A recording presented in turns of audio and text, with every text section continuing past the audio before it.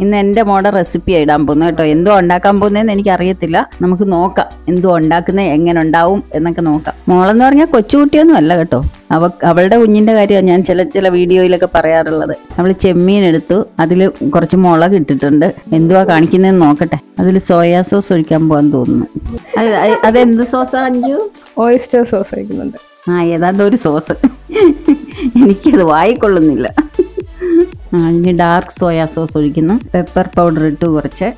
അളവൊന്നും എനിക്ക് പറയാൻ അറിയത്തില്ല. അവൾ എന്തോ ഒക്കെ ഉദ്ദേശിച്ചിട്ടുണ്ട്. ഇനി ഉപ്പിടാൻ പോകുന്നു. ആളുണ്ടാക്കുന്ന സാധനങ്ങളൊക്കെ സൂപ്പറാ കേട്ടോ. അതെ വല്ല കാലത്തൊക്കെ ഉണ്ടാക്കത്തുള്ളന്നേ ഉള്ളൂ. അടുക്കളയിൽ കയറാൻ ഒരു മടിച്ചിയാ അതെല്ലാം കൂടെ മിക്സ് ചെയ്യുക ചെമ്മീനിലിട്ടിട്ട്. കടായി അടുപ്പിൽ വെച്ചിട്ടുണ്ട്.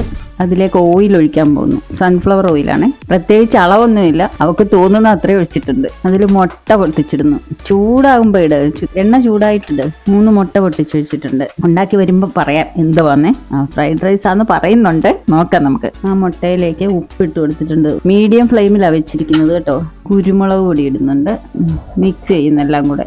വലിയ ഷെഫൊക്കെ കാണിക്കുന്ന പോലെ കാണിക്കുന്നുണ്ട് കേട്ടോ. അതൊന്ന് ട്രൈ ആക്കി എടുത്തിട്ടുണ്ട്. ഡയലിൽ തന്നെ ഓയിൽ ഒഴിക്കുന്നുണ്ട് അതിലേക്ക് ആ ചെമ്മീൻ ഇട്ട് കൊടുക്കുന്നുണ്ട്. മസാലയൊക്കെ ഇട്ട് വെച്ചിരുന്നത് ചെമ്മീനിന് അധികം വേവില്ല കേട്ടോ. അവക്ക് അറിയാമെന്ന് തോന്നുന്നു. എന്നാലും ഞാനൊന്ന് പറഞ്ഞു കൊടുത്തൂന്നേ ഉള്ളൂ.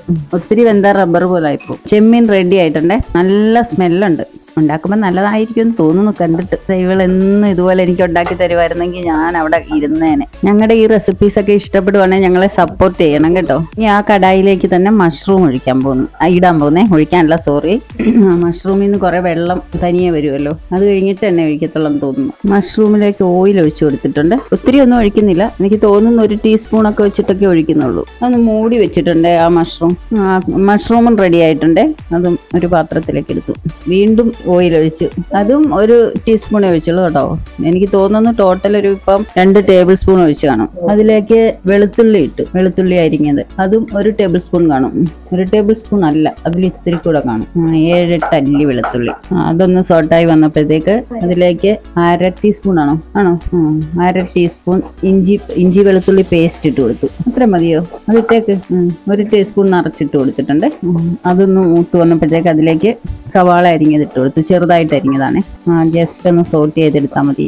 ഫ്ലെയിം കൂട്ടിയാണ് ഇട്ടിരിക്കുന്നത്. അതിലേക്ക് ക്യാരറ്റും ബീൻസും അരിഞ്ഞത് ഇട്ട് കൊടുത്തിട്ടുണ്ട്. ചെറുതായിട്ട് അരിഞ്ഞത്. ഇത് ഞാൻ തോരൻ അരിഞ്ഞു വെച്ച ക്യാരറ്റ് ആണല്ലോ അതിലേക്ക് കുറച്ച് വെള്ളം ഒഴിച്ചു കൊടുത്തു. ബീൻസ് വേകണ്ടേ അതിനായി ഒരു കുറച്ച് ഒരു കാൽ കപ്പ് കഷ്ടിച്ച് അത്ര. ആ കാൽ കപ്പ് തികച്ചില്ല. കുറച്ച് വെള്ളം. ആ ബീൻസ് ഒന്ന് വേഗം മാത്രം. ബീൻസും ക്യാരറ്റും എല്ലാം വെന്ത് വന്നിട്ടുണ്ട്.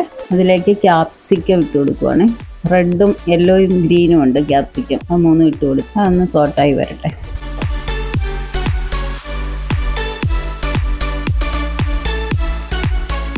ഒരു അര ടീസ്പൂൺ ഉപ്പിട്ട് എടുത്തിട്ടുണ്ട്.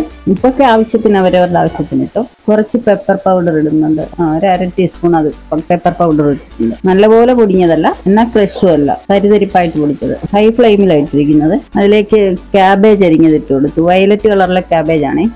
അത് വെള്ളം ഇല്ലാത്തതുകൊണ്ട് അതെടുത്തിട്ടതാ അതിലേക്ക് അതിലേക്ക് ഓയിസ്റ്റർ സോസ് ഒഴിച്ചു കൊടുത്തു. അതെന്താ സാധനം എന്ന് എനിക്കറിയില്ല ഒരു ടേബിൾ സ്പൂൺ നിറച്ചൊഴിച്ചു കൊടുത്തിട്ടുണ്ട്.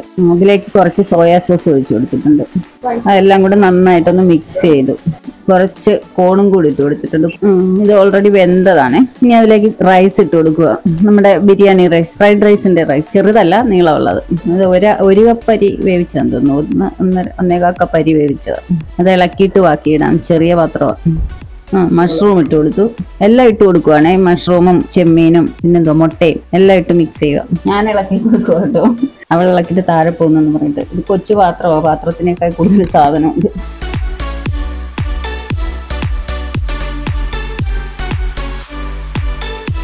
ഞാൻ നോക്കാനാ പറയുന്നത് എനിക്ക് പക്ഷെ ഇതിനോടൊന്നും താല്പര്യമില്ല അത്ര. കുറച്ച് കൂടെ വേണം ഞാൻ അതൊന്ന് ഇട്ട് കൊടുക്കുക ഈ ഫ്രൈഡ് റൈസിന് എന്തുവാ പറയുന്നത് അവൾക്കും അറിയത്തില്ല അവൾ തന്നെ ഉണ്ടാക്കിയ ഒരു റെസിപ്പി കഴിഞ്ഞു ഉണ്ടാക്കി ഇത്രയേ ഉള്ളൂ കാര്യം. ഇതെന്ത് കൂട്ടിയാണ് കഴിക്കുന്നത് ടൊമാറ്റോ സോസ് കൂട്ടി കഴിക്കും. അപ്പം മറ്റൊരു റെസിപ്പിയുമായി ഞങ്ങൾ അടുത്തൊരു വീഡിയോയിൽ വരാം.